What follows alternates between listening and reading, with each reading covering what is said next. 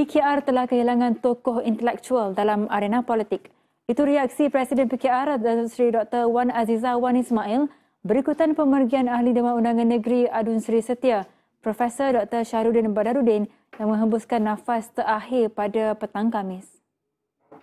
Wa inna Memanglah memang kita merasa sedih kehilangan sebab Profesor Syahrudin adalah seorang daripada kami yang ketengahkan intelektual ya dan kita memang merasa sedih dan takziah kepada uh, keluarga beliau. Uh, semalam saya dah uh, pergi berkunjung dengan suami saya. Memang nampak uh, tenat. Dr. Wan Aziza berkata partinya akan bermesyuarat sebelum membuat sebarang ketetapan mengenai pengganti Syahrudin sebagai adun dan exco Kerajaan Negeri Selangor. Allahyarham Syahrudin, 56 tahun yang merupakan salah seorang naib presiden PKR, menghidap kanser usus tahap 4.